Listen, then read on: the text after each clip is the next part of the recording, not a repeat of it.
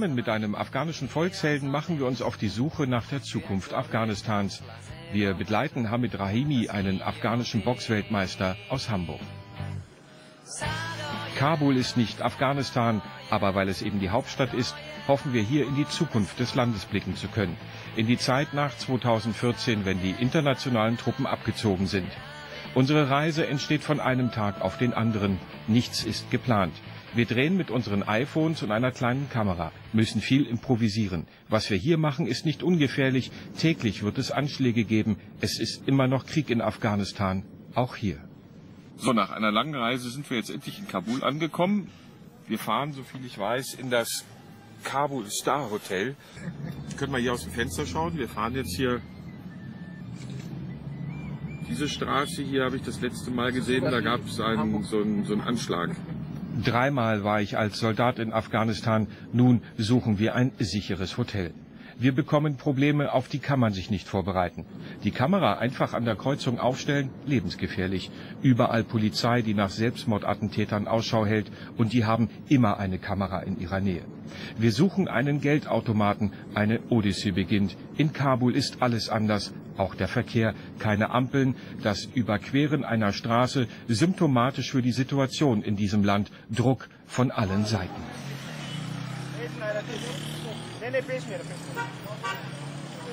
Jetzt sind wir hier, jetzt probieren wir irgendwo Geld herzukriegen. Das ist ganz schön über die Straße zu kommen. Ich gehe jetzt mal hier durch. Das ist jetzt ein bisschen problematisch. Aber wir machen es einfach mal so, wie wir uns das vorstellen. Hier wurde gerade geheiratet. So. Und jetzt, hier ist, hier ist ein Loch. Und jetzt sind wir in einer Bank. Zu früh gefreut. Ein Supermarkt. Und jetzt probieren wir uns hier Geld zu besorgen. Thomas, meinst du, das haut hin? Ich, ich glaub's nicht. Ich äh, mach's mal jetzt. Und natürlich funktioniert das auch nicht. Ein Einkaufsmarkt für die Helfer aus Europa. Hier gibt es alles, was sich der durchschnittliche Kabuli nicht leisten kann. Raus aus dem Kabul-Star. 200 Dollar die Nacht, völlig überteuert. Ein Sicherheitsgefängnis hoch 10, man kriegt gar nichts mit. Und jetzt sind wir frei, können uns bewegen und alles läuft, wie wir uns vorstellen. Kleine Anekdote von heute. Wir sind am Haus vom Dostum vorbeigefahren. Die Straße dort in beiden Richtungen früher jeweils zweispurig. Und dann wurde die Straße auf einmal ganz einspurig, weil der Polizeidistriktchef diese Straße einfach verkauft hat, damit die Leute ihre Häuser bauen können. Und jetzt gibt's dort jeden Tag Stau. Dostums grünes Haus können wir nur aus der Ferne zeigen. Der Warlord lässt sein Haus sehr gut bewachen. Der nächste Morgen. Wir machen jetzt hier einen kleinen Spaziergang durch Kabul. Tamim, unser Guide, bringt uns jetzt zum Frühstücken und zur AIB Bank, dass wir dort hoffentlich ein bisschen Geld bekommen. Ja, hier sieht das so aus. Hier sind wir jetzt unterwegs. Und es ist ein fantastisches Gefühl, sich einfach frei in Kabul zu bewegen. Ich weiß, ich habe das schon ein paar Mal gesagt, aber wir fassen es immer noch nicht. Denn als deutscher Soldat durfte ich das Auto selten verlassen. Herzlich willkommen aus einer ganz besonderen Stadt. Salam alaikum, Kabul. Wir sind hier mitten im Herzen der Hauptstadt am Hindukusch und stehen an einem ganz besonderen Ort, nämlich hier vor dem neuen Parlamentsgebäude Afghanistans. Ab 2014 ist eine besondere Zeitzone für die Menschen am Hindukusch, wenn eine neue Zukunft beginnt, wenn die internationalen Truppen abgezogen sind und der neue Präsident Afghanistans gewählt wurde. Aber was bringt diese neue Zukunft? Was denken die Menschen? Welche Ängste haben sie? Worauf bereiten sie sich vor? Gibt es eine große Wirtschaftskrise oder fällt das Land in den Krieg zurück, in Bürgerkriegszeiten, das es schon seit 30 Jahren erleben musste? Wir führen Sie durch die Landeshauptstadt Afghanistans, wollen mit Menschen reden über Hoffnung, Träume und Ängste.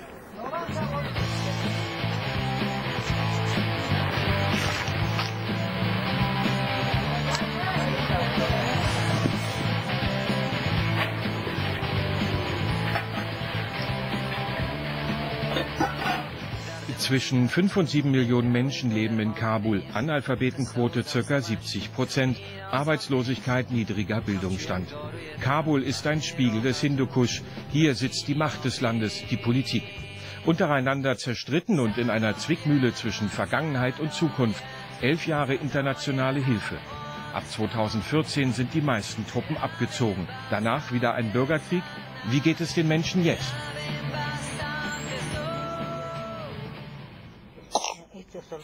Witwe Ramsia Naseri lebt in den Bergen am Stadtrand Kabuls. In einem Zelt ihre beiden Kinder krank. Es ist Winter, kein Strom, Wasser muss sie sich liefern lassen. Ich flehe euch an, besorgt mir eine richtige Unterkunft. Ich habe keine.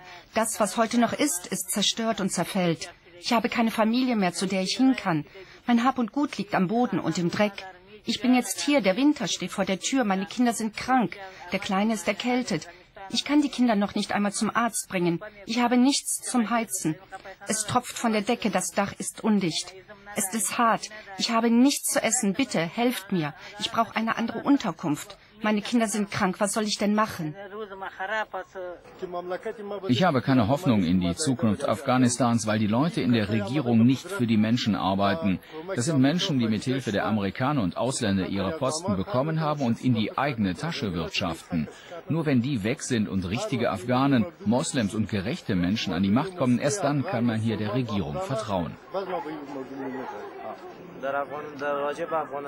Afghanistan kann eine gute Zukunft haben. Wir können dazu beitragen, dass der Wiederaufbau stattfindet und unserem Volk und Land geholfen wird, dass wir zu einer stolzen Nation werden. Wir sind jetzt wieder unterwegs in Kabul und zwar an den Kabul River. Dort wollen wir Hamid Rahimi treffen, der heute eine Hilfsaktion unternimmt, mit den Kabuler Müllmännern und den Kabul River irgendwie zu säubern. Jetzt sind wir hier am Kabul River, wo nicht immer viel Wasser drin ist. Im Winter meistens leer, ein ausgetrockneter Fluss. Aber hier ist heute eine spezielle Aktion, nämlich Hamid Rahimi ist mit den Kabuler Müllmännern unterwegs für eine Aktion Die saubere Stadt Kabul. Menschen schauen, und er will eine Vorbildfunktion leisten. Hallo Hamid Jan, wie ist es in Kabul? Oh, ist gut. Also nur hier stinkt das ein bisschen, aber. Wir sind jetzt hier an einem sehr ungewöhnlichen Ort, also im Kabul River, wo normalerweise Wasser drin sein sollte, seit Jahren nicht. Du machst hier eine Aktion mit den Kabuler Müllmännern. Was hat es damit auf sich? Ähm, es ist so, äh, ich liebe diese Stadt und äh, wenn man seine Stadt liebt, dann muss man das auch pflegen und sauber halten. Genauso wie sein Haus und sein Auto. Und daher versuche ich einfach, die Menschen darauf äh, ein bisschen aufmerksam zu machen, auf diese Müllprobleme. Weil Afghanistan leben, gerade in Kabul leben sehr, sehr viele Menschen und viele schmeißen einfach ihren Müll hier einfach runter. Schaut euch doch mal das einfach an. Das ist überall Müll und schmutzig.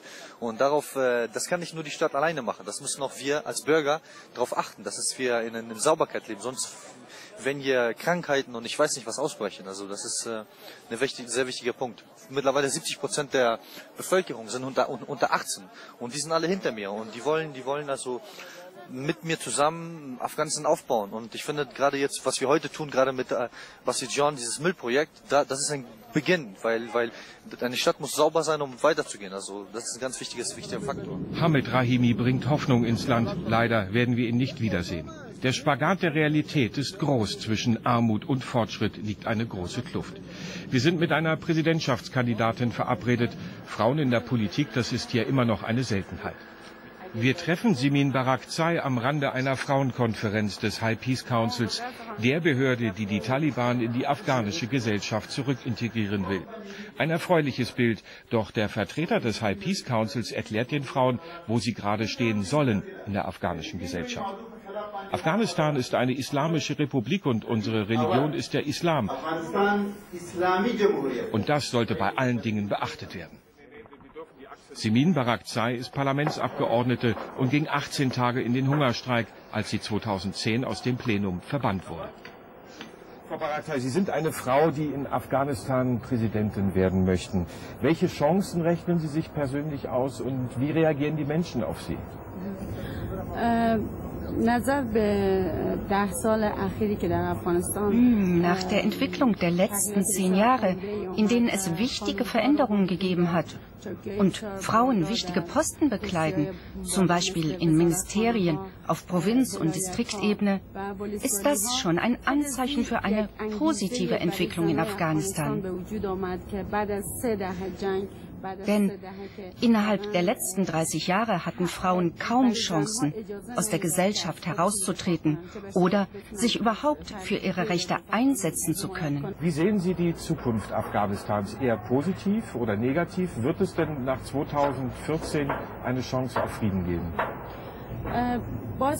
Ich muss auf die letzten 30 Jahre zurückgreifen. Obwohl die internationalen Truppen hier sind, gibt es immer noch Selbstmordattentate und Bombenanschläge. Dies hat dazu geführt, dass sich eine gewisse Unruhe innerhalb der Bevölkerung entwickelt hat, was den Abzug bis 2014 angeht. Wenn die Truppen gehen, dann ist das wie das Öffnen der Büchse der Pandora. Natürlich kann uns auch unsere eigene Armee schützen, doch sie ist zu schlecht ausgerüstet. Ziehen die internationalen Truppen ab, macht sich eine Art Hoffnungslosigkeit breit.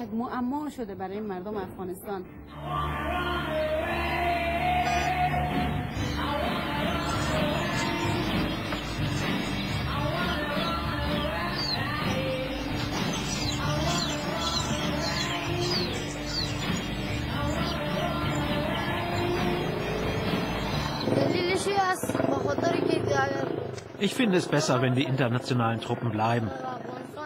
Afghanistan hat noch kein nachhaltiges Fundament und es kann auch nicht wirtschaftlich auf eigenen Beinen stehen. Nachts schon minus 10 Grad. Wir leben und wohnen wie die meisten Afghanen in Kabul. Dauerstromausfälle mehrere Tage hintereinander. Warmduschen unmöglich. Manchmal wissen wir nicht, ob wir unsere Akkus wieder voll bekommen. Die Menschen hier können vor ihrer Zukunft nicht davonlaufen. Sie sind im Jetzt gefangen, umzingelt von Problemen. Taliban, Ethnienkonflikte, Druck aus den Anrainerstaaten wie Pakistan. Das, was bei uns selbstverständlich ist, ist hier Glückssache. Kabul explodiert bald. Überbevölkerung. Wo geht es hin mit diesem Land?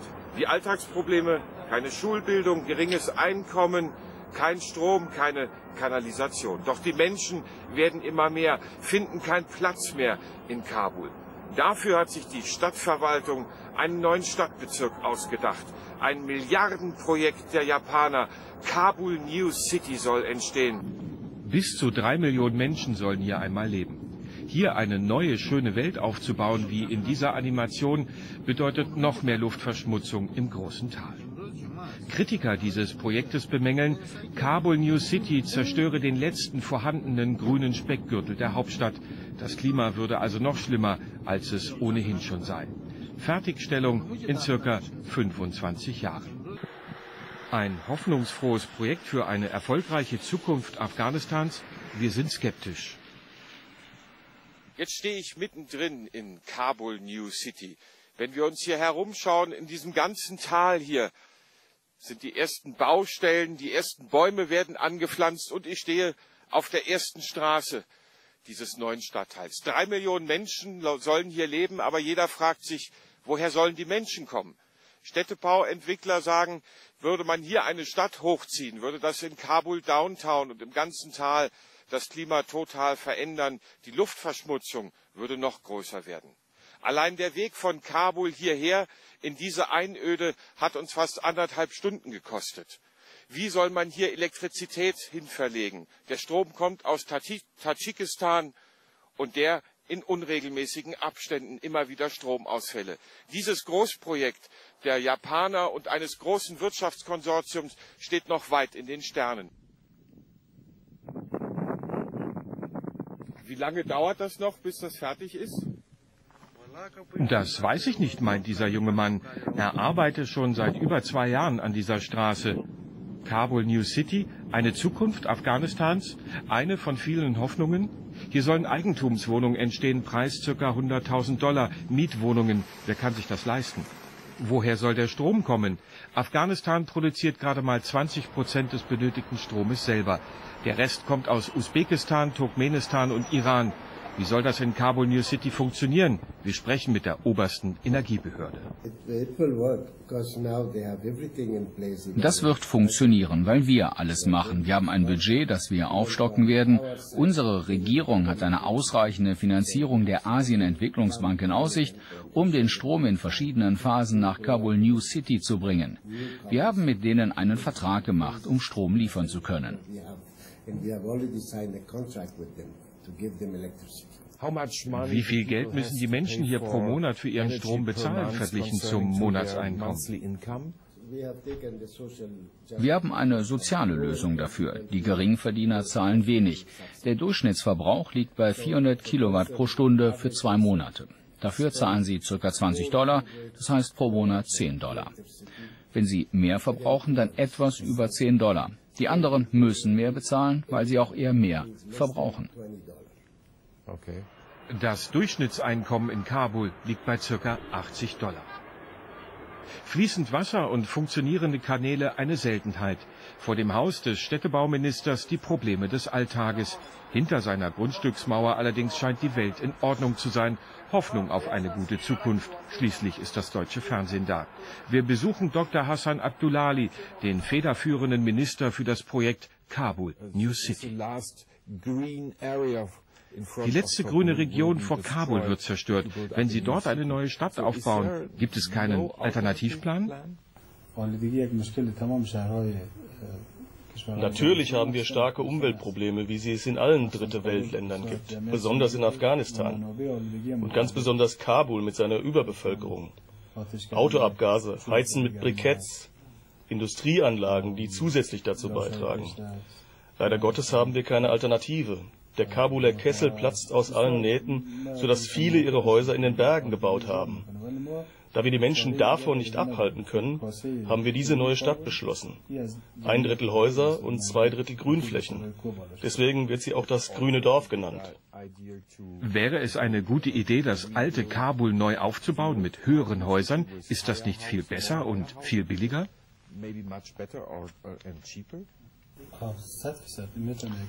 Das wäre vielleicht eine gute Option für die Bevölkerung in Kabul und auch für die Regierung. Allerdings sind die Grundstückspreise in Kabul so hoch, dass das für die Menschen, die in Kabul leben wollen, viel zu teuer ist. Und das sind überwiegend Menschen, die vom Land kommen, Flüchtlinge und Menschen aus Anrainerstaaten. Deshalb brauchen wir Kabul New City. Wenn es nach dem Masterplan geht, sagt uns der Minister auch, benötigt man circa 25 Jahre Kabul New City aufzubauen. Die Kosten dafür circa 20 Milliarden US-Dollar, wie eine japanische Entwicklungsgesellschaft geschätzt hat. Politik und Gesellschaft versuchen einen Spagat zwischen Geschichte und Zukunft. Die letzten 30 Jahre Krieg, dennoch Hoffnung auf bessere Zeiten. Wie Sie sehen, ist die gegenwärtige Lage nicht gut. Es gibt Selbstmordattentate und Bombenexplosionen. Wenn die Ausländer gehen, kann es gut oder schlecht ausgehen. Das weiß nur Gott. Ich befürchte, dass dann die Taliban wiederkommen. Wenn die internationalen Truppen bleiben, hat unser Land die Chance, sich zu entwickeln. Wenn die Sicherheitslage so schlecht bleibt, dass bei Anschlägen bis zu 40 Moslems sterben, dann kann und dann darf das nicht so weitergehen. Wir treffen die Abgeordnete Fachunda Naderi, eine Frauenrechtlerin. Sie hat diese Bibliothek aufgebaut, in der der größte Koran der Welt liegt. Zeigen dürfen wir ihn leider nicht. Tausende Bücher, die unter den Taliban noch verboten waren.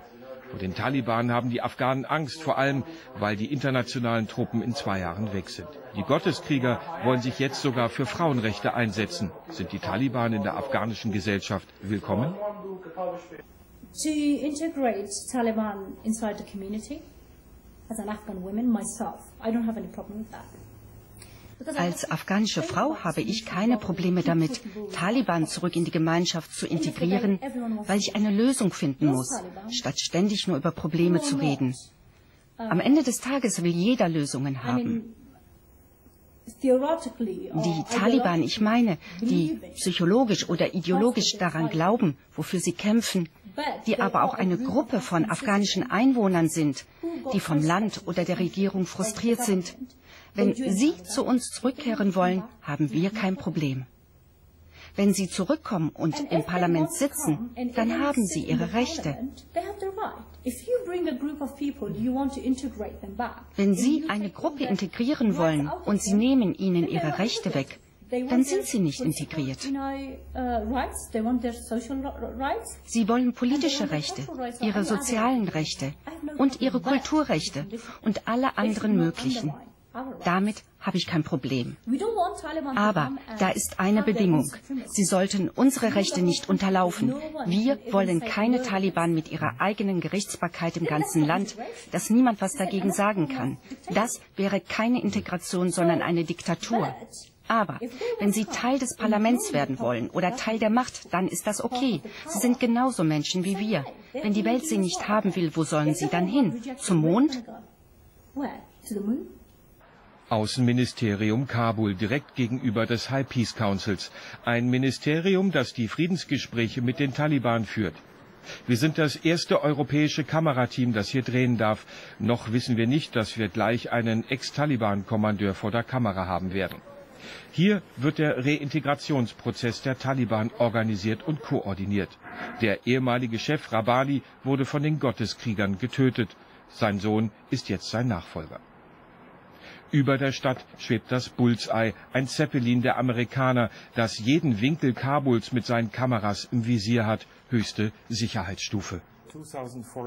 2014 sind Präsidentschaftswahlen, danach verlassen die internationalen Truppen Afghanistan. Aus Ihrer Perspektive, wie sieht der Frieden Afghanistans aus Ihrer Sicht nach 2014 aus? We uh, expecting that before 2014 uh, we have uh, reached wir hoffen, dass wir bis 2014 einige Resultate und Positionen mit den Taliban erreicht haben. Wir versuchen sie an den Verhandlungstisch zu bekommen. Des Weiteren wollen wir sie überzeugen, am Politikprozess in Afghanistan teilzunehmen, auch an den Wahlen, um Resultate mit den Taliban zu erreichen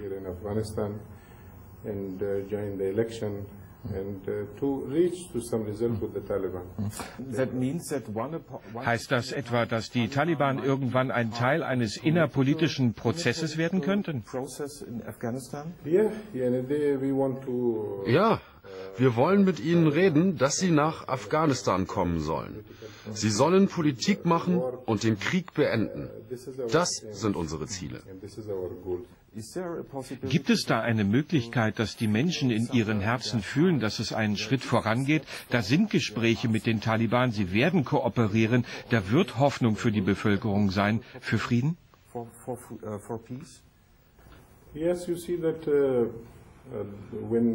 Sehen Sie, als die Taliban in Afghanistan verjagt worden sind, haben sich die Menschen so viel von der Weltgemeinschaft erhofft. Sie hofften auf Sicherheit und Frieden in Afghanistan. Sie haben sich eine Justiz von der Regierung gewünscht und sie hoffen Arbeit zu finden und andere Entwicklungen wenn Sie Frieden und Stabilität haben wollen im Land. Aber wenn Sie dem Krieg begegnen, wie wollen Sie dann Entwicklung bekommen? Ja, es ist richtig, in den letzten zehn Jahren haben wir Entwicklung gesehen. Aber das ist nur in den Städten. Draußen auf dem Land, in den Distrikten, da ist keine Entwicklung zu spüren, die den Menschen hilft, Arbeit zu finden, Bildung, Wasser. Dafür brauchen wir Sicherheit in Afghanistan. Danach sehen wir weiter.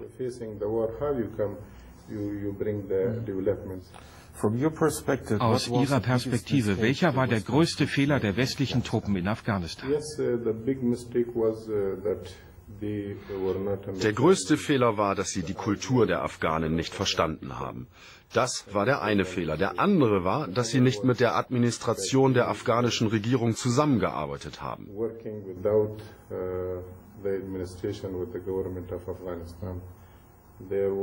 Wenn sie kämpfen, dann machen sie das immer auf eigene Faust.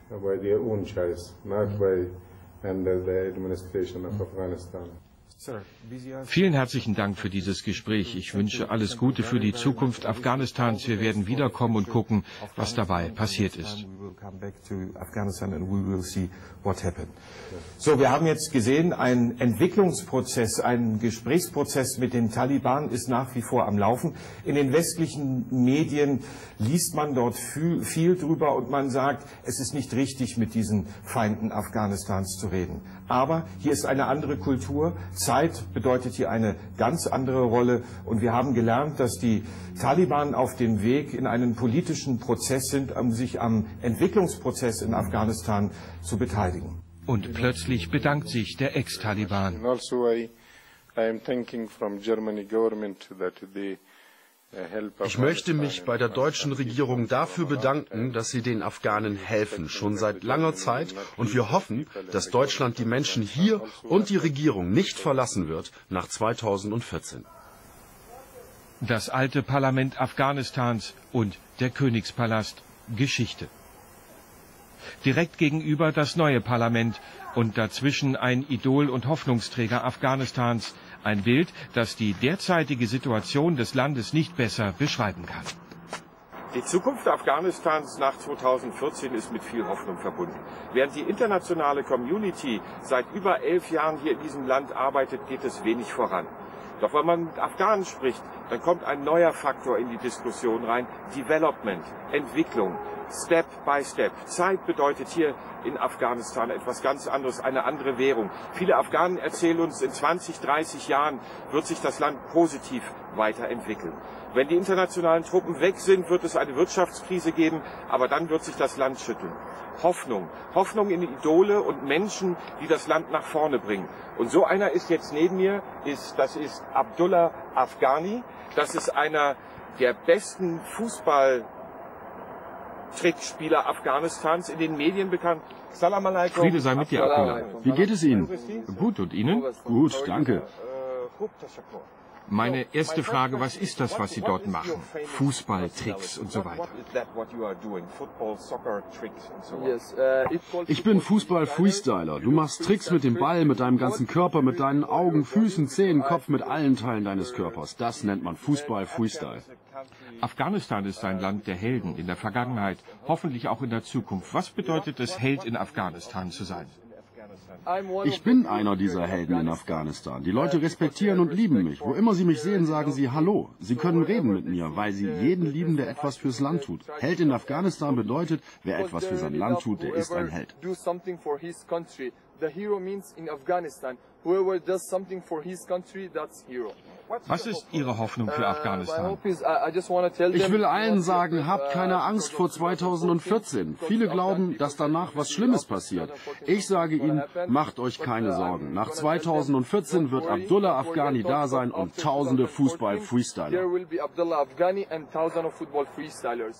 Auf unseren Recherchen entdecken wir Hoffnung und Entwicklung, Neues, Fantastisches für Afghanistans Situation. Der erste Weltsport-Fernsehsender geht bald auf Sendung, Jahan Sports TV. Das ist der erste Sportsender in Afghanistan oder Weltsportsender. Wann geht das Programm los? Es geht los, so Gott will, vor diesem Monat, also jetzt einen Monat später. Welchen Sport zeigen Sie so? Jeden. Fußball, Basketball, Volleyball. Wir senden jeden Sport. Afghanen lieben Sport, oder? Ja, Afghanen lieben Sport sehr. Afghanistan ist eine Riesenbaustelle. Wird ein Problem gelöst, entstehen zehn neue.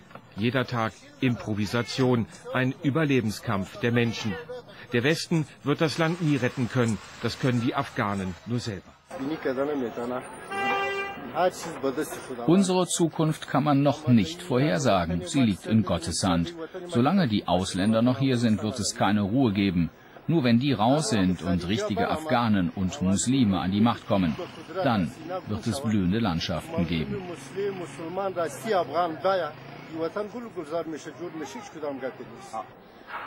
Auch für die afghanische Frau ist es eine positive Entwicklung. Die Frauen trauen sich, für das Präsidentenamt zu kandidieren, obwohl es eine männerdominierte Gesellschaft gibt. Gott sei Dank arbeiten heute Mann und Frau Schulter an Schulter. Daran erkennen wir, dass sich Frauenrechte in den letzten zehn Jahren sehr gut entwickelt haben. Wenn die Weltgemeinschaft ihre Unterstützung fortsetzt, ich glaube, dann erwarte ich keinen Bürgerkrieg. Uh, Natürlich bin ich für die Zukunft Afghanistans sehr optimistisch. Es wird sich vieles verbessern. Ich habe Zugriff auf zwei Milliarden Dollar, die ich für Energie ausgeben kann. Das ist eine Versicherung für die Zukunft. Meine persönliche Meinung, es wäre besser, wenn die Ausländer bleiben würden, weil wir dadurch Stabilität bekommen, Sicherheit also, damit internationale Institutionen im Land bleiben können. Wenn Frieden herrscht, werden sie bestimmt hier bleiben. Und dann haben Afghanen auch Arbeitsmöglichkeiten und eine Perspektive. Das ist essentiell für die Entwicklung unseres Landes. Deshalb ist es gut, wenn sie bleiben. Mein Name ist Mina. Hier bei uns im Zelt ist es dreckig und kalt. Wir haben kein Haus. Unter meinen Füßen ist es nass und feucht. In der Schule haben wir keine Hefte und Bücher. Und die Lehrer sind auch nicht gut. Wir haben auch keine Klassenräume, sondern Zelte. Sie sollten uns Bücher, Stifte, Hefte und Räume geben. Das erwarte ich von einer Regierung. trotz